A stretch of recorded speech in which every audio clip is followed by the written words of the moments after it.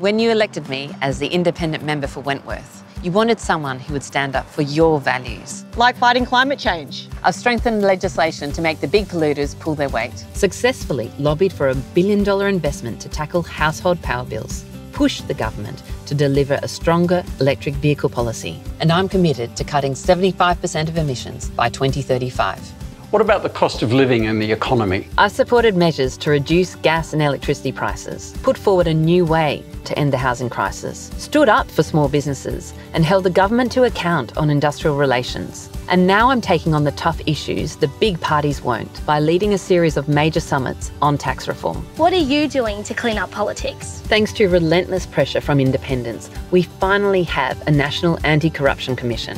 And after a decade of living in limbo, thousands of refugees can now call Australia home. Together, let's create a better future for Wentworth. Spoken and authorised by Allegra Spender, Edgecliff.